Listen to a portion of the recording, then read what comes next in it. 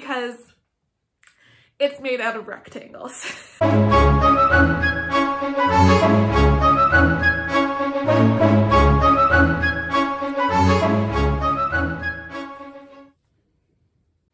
and before I jump into talking about all the different dresses, um, even though I'm not going to be talking about much of the male costumes because I know nothing about 18th century men's fashions except basically how to identify if something's from the 18th century. Um, there's one men's fashion choice in the show that is very representative of a theme throughout the entire show and the costumery as well. And it's the fact that it's called Great, an occasionally true story, rather than just the great. Um, and this means that things are definitely, history is definitely messed with and things are definitely not completely accurate. And it kind of gives almost, it feels like the costumes a slight excuse to be not completely period accurate. And so basically the first thing I wanted to talk about is the jogging suits that we see Leo and Peter wear. So from what I can tell, and obviously you can't always tell a fabric from touching it, but it seems like they're both like very loose linen almost weaves um, that are making up these drawstring jogging suits that um, that these two characters wear. And it's very, very, um, even though like the concept of them is very, very inaccurate, and obviously drawstrings didn't exist at the time, and well, they did, but you know, stretch didn't really exist at the time. The fact that they're made out of linen adds a, like, just very slight realm of authenticity because linen is probably one of the most breathable fabrics you can wear. Um, much more breathable than breathable than cotton and wood. And then also these clothes are made how you would probably make a jogging suit if you were making one in the 18th century because it's made out of rectangles. um, if you're familiar with 18th century fashion, you might know what I'm talking about. If not, it's fine. Um, because basically men's shirts in the 18th century were comprised out of a couple rectangles. Rectangle for the top part, and then rectangles for the sleeves. And then the sleeves are kind of gathered here and occasionally sometimes gathered at the shoulders, blah, blah, blah, blah, blah. They were made out of rectangles. um, and so even though these have hoods added onto them, you can tell that they're constructed in the same way that 18th century men's shirts are by the way that the seams and these, um, the way that the seams and basically the, the suits are just hanging in general. The other detail I really like is the um, two or maybe three like metal buttons at one of the sides. It's it's probably not historically accurate um, considering we're talking about a jogging suit, but it's also not it's also very evocative of a kind of militaristic twist that that was very, very common in some 18th century clothing that wouldn't be considered militaristic. And so it's just a nice little detail. And it just, the costume really, really sums up the whole thesis of the show. It's 18th century in a lot of different ways, but it fudges with the actual history of the situation. Um, and then, so next we must talk about Marial's costumes because they are wonderful. She is wearing a, what seems to be a shift with a pair of stays over, a couple petticoats, maybe some hip padding, um, couple things, occasionally an apron, occasionally a headdress. Um, and this is reasonably um, accurate. I couldn't find any reference to what serfs in particular were wearing in around the 1760s, which is when I'm postulating the show is taking place. Um, and So it makes sense for it to be in the 1760s based off various dates as the whole coup thing happened in, I think, 1763. And um, despite Peter and Catherine being married like 30 years earlier, because we gotta figure out, I think it's the clothing just seems to feel very 1863.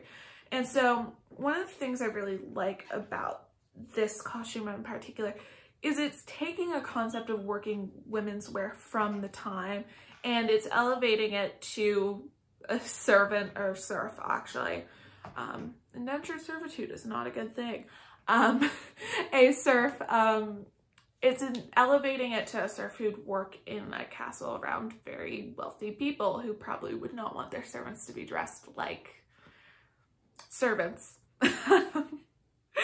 so they would have, um, so it's basically taking this concept of what would be 18th century peasant wear, 18th century working woman's wear, and they're adding in these much more expensive and luxury fabrics that make it look very gorgeous while still maintaining that peasant look. Um, you have brocades and silks used for the covered stays that she wears with spiral lacing, which is wonderful because a lot of people don't use spiral lacing. The stays have stomacher. It is like a stomacher. It's a very wide stay, which implies that the stays are not super recent, but I mean, she's a serf, even though she wasn't a serf, she is now a serf. And you're not gonna have access to the newest clothes, particularly with these garments. Um, and then the other thing is that these petticoats are made of incredibly gorgeous brocades, brocades and other fabrics of the like of the sort. So they very much look wealthy while still looking peasanty, um, which I just, I think is a wonderful, wonderful detail. Also, Marial's, um, um, shift that you can see the sleeves of are showing up. It's very, very made from rectangles, as I'm saying before. um, and then the one other element I thought was interesting is the head coverings of the serfs. Now, I believe this has something to do with traditional Russian dress, which has a very complex history um, after the Tsardom was, of Russia was founded mid 16th century. Um, everyone kind of stuck to this Slavic origin clothes um, and traditional dress of Russia's areas, Russia's domain, um, partially because of heavy influence from a conservative church. And then around the very, very end of the 17th century, beginning of the 18th century, Peter the Great rose to power and decided that he wanted to modernize Russia in a very Eurocentric concept. So one of the aspects that he did was making Russia look more um, Western, more European. And he did that through mandating that all people shall wear now, shall wear um, German dress rather than traditional Russian dress. And so from what I can tell, the complete accuracy of how people adhered to that um, basically is very, very vague. There's reports of Catherine the Great wearing a lot of Russian traditional dress, um, I think in the 1780s, I guess. There's reports of people who came post, who came like in the 17, even 40s where people weren't adhering to this. Um, and then there's a lot about how also they were definitely not up to date on fashion. But um, one of the things that really I find interesting about Marial wearing a headdress is it seems to be one of these very referential to a more traditional Russian dress. So I could not find exact relation of this headdress. Um, I did a lot of research. Um, the closest I could get is it seems to be referencing um, a, hold on, let me see if I can get this, Pavoink, Pavoinky or Pavinky. I don't know how to say that um, because it's less Russian. It for some reason does not read Russian in my head, so um Polvinki, um, or something like that. Um, I'll put the word up because I well, I want to know how it's Okay, I cannot find where I got this idea from.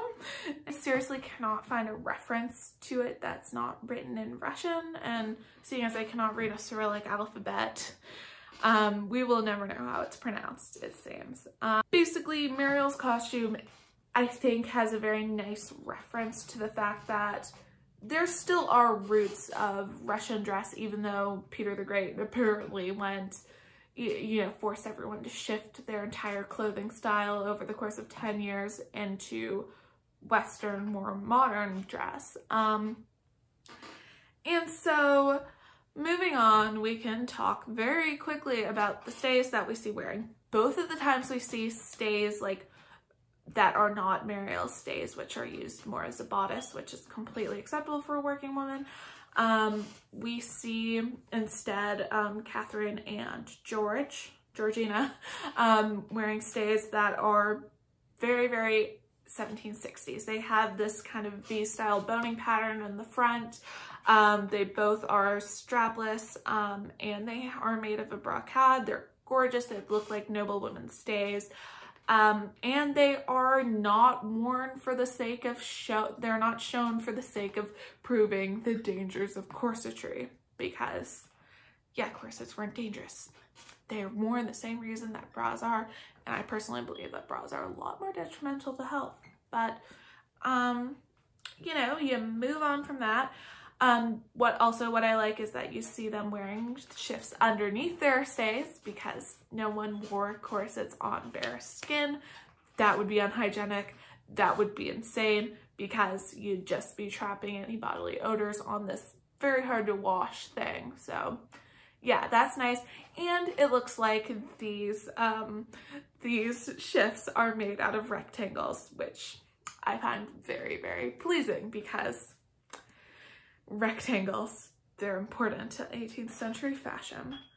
Um, then we can go into talking about the various day dresses that Catherine wears. The first one I want to talk about is this light blue robe a l'anglaise that she wears quite often throughout the series. I love when we see even rich people, sorry, my chair's all creaky.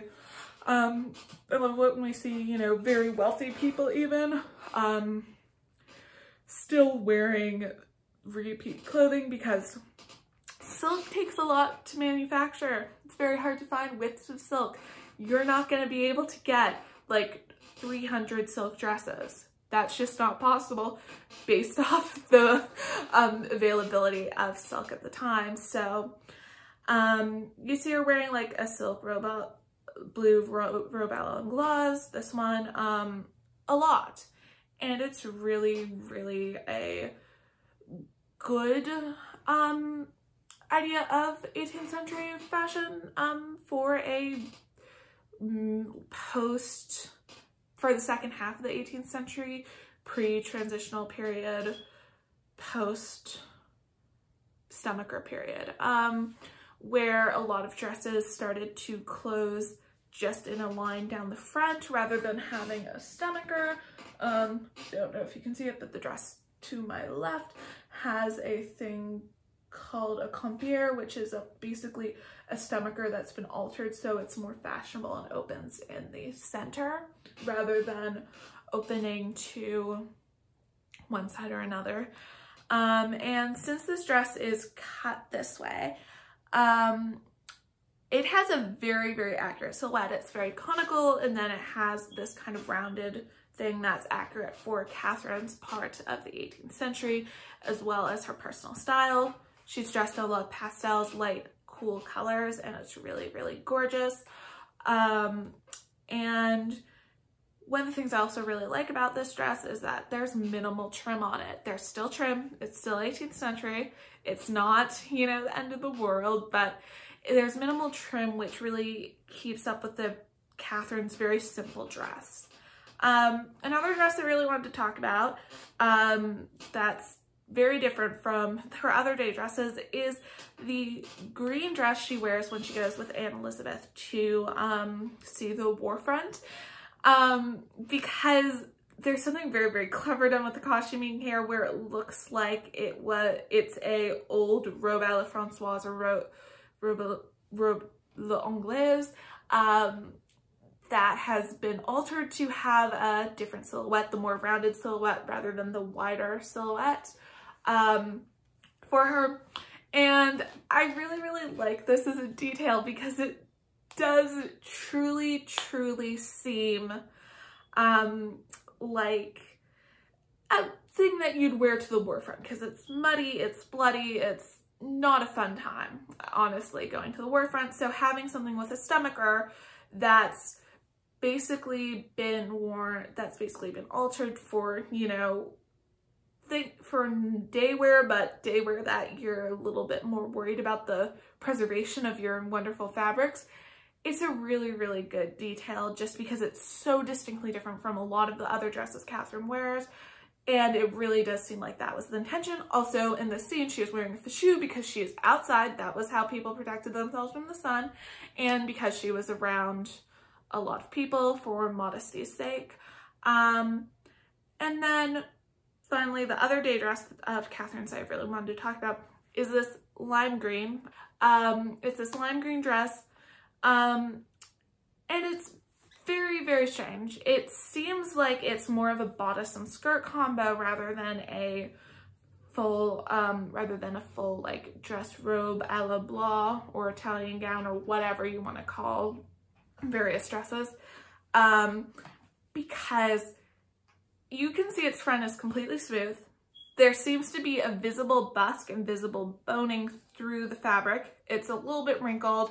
You can't avoid some fabric wrinkling. I've spent hours like re-sewing my lining onto this to try to avoid some wrinkling. It's very, very hard.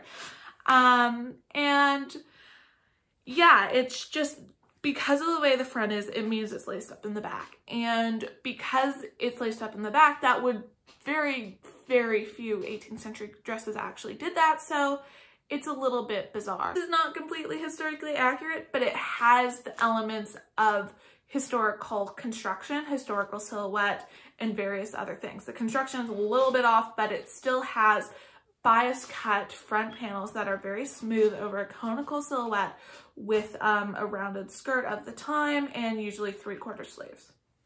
Perfectly, perfectly acceptable for the time.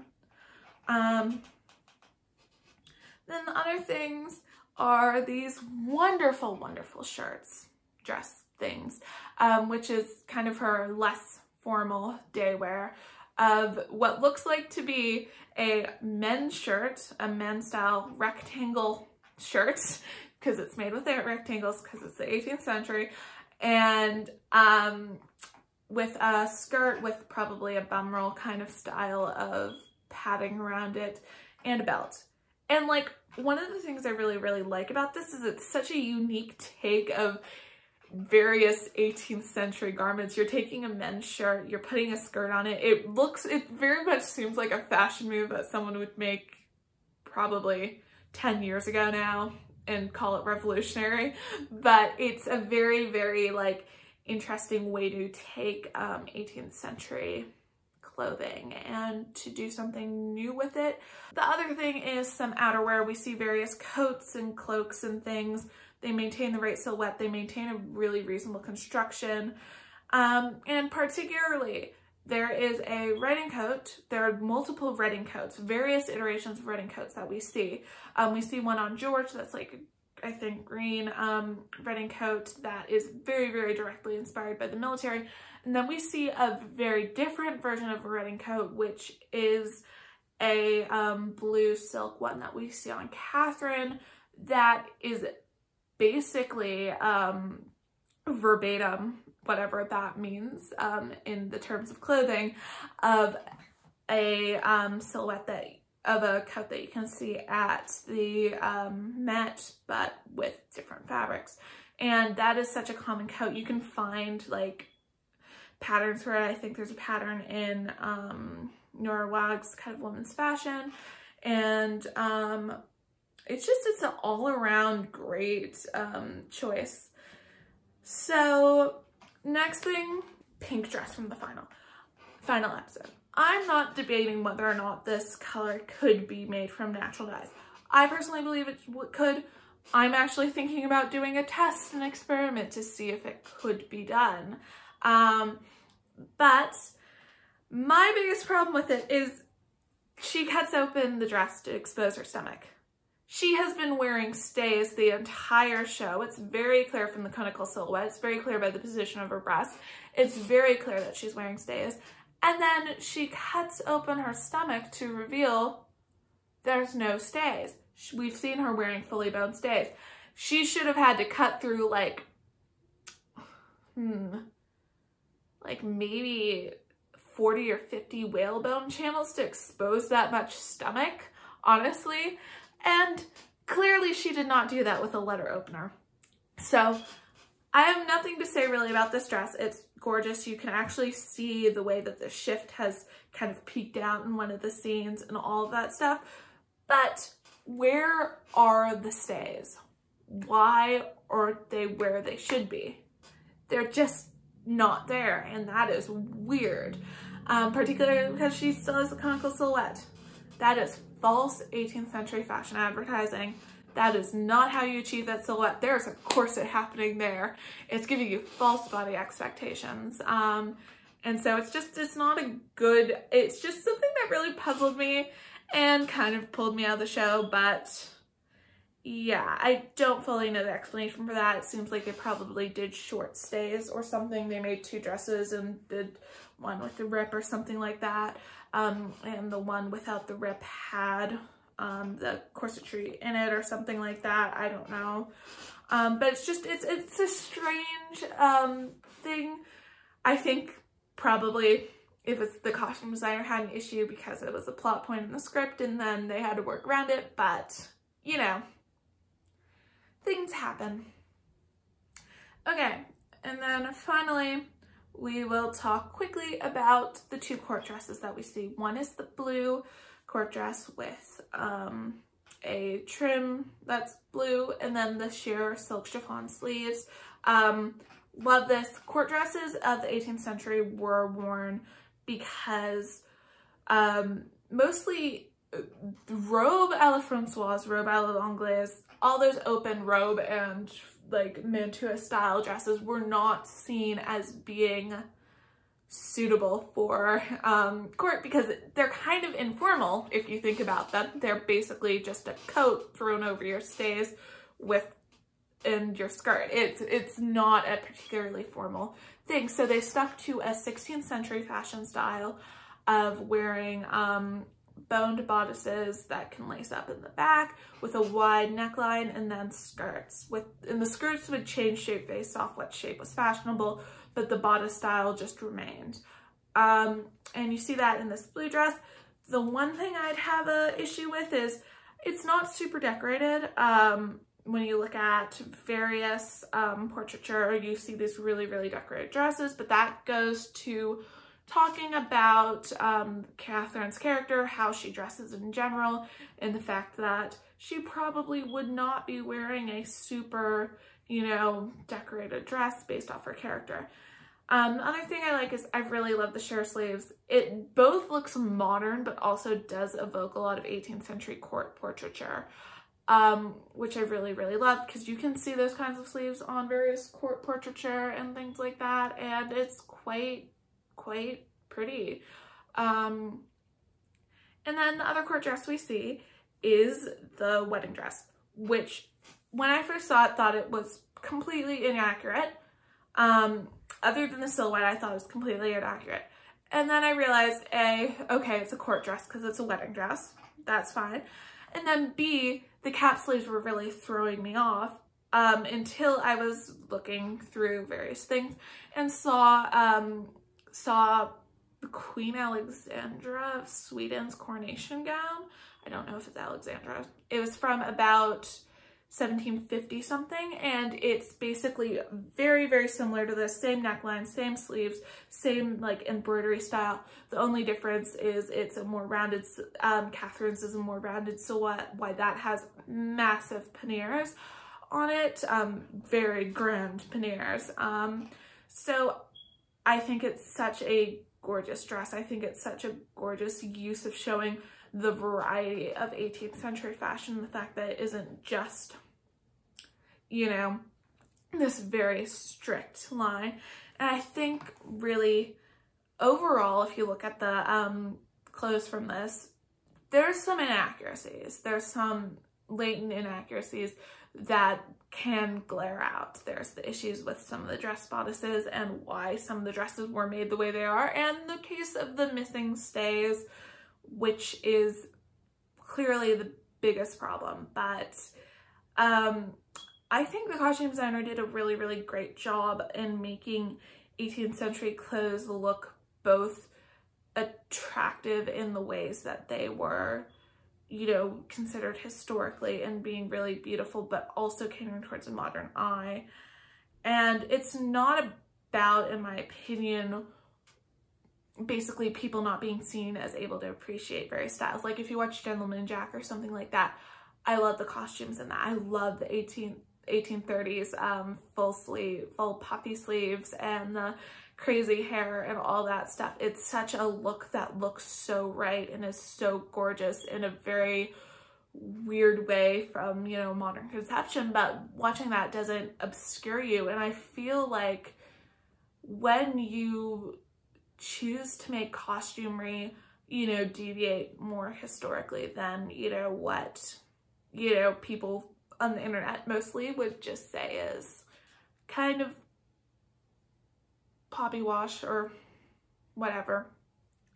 Um, and say, oh, it's just inaccurate and then move on. Um, it's not always inaccurate because it's not the standards of modern beauty, but it's just the standards of being able to show variety through colors, through um, through colors, through different fabrics, through various things to be able to show personality and stuff like that, where there's a lot of extant garments out there with variety of styles. Nothing's really the same except for the silhouette and some of the construction methods. And that's really what accuracy has to come down to is was it made out of the right fabric for the time?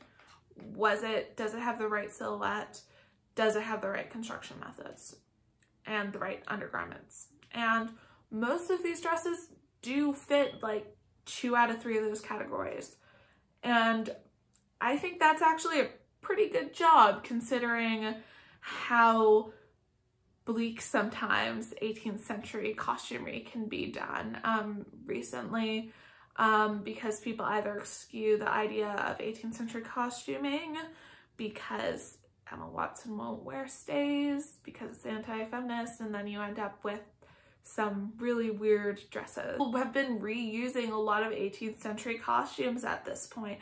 Costumes that were used in um, Belle are used in Harlot, costumes that are used in The Duchess are used in Harlots and Belle and all those different things. Um, so reusing of costumes has kind of made it so there's less um, interesting and fun variety going on in 18th century. And I think since most of these garments from what I can tell seem to be originally made for the show, it's a really, really, I think, nice and kind of refreshing and to see, refreshing 18th century thing that's very, very new and beautiful.